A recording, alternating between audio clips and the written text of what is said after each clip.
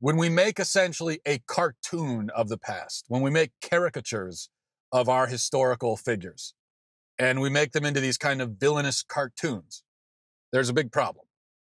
I want to talk about what that problem is. And as an example of this phenomenon and of the problem itself, let's talk about this situation with Laura Ingalls Wilder, uh, who, of course, was a famous author in the mid 19th century, early 20th century. She wrote the Little House on the Prairie books.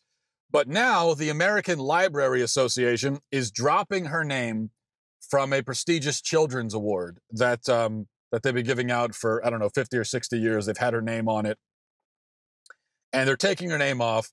And there's this process now of kind of banishing her from from the the children's literature space because of her culturally insensitive writings. So I want to read quickly a quote from Jim Neal, the uh, president of the American Library Association. He's explaining uh, this decision. He says, Wilder's books are a product of her life experiences and perspective as a settler in America's 1800s.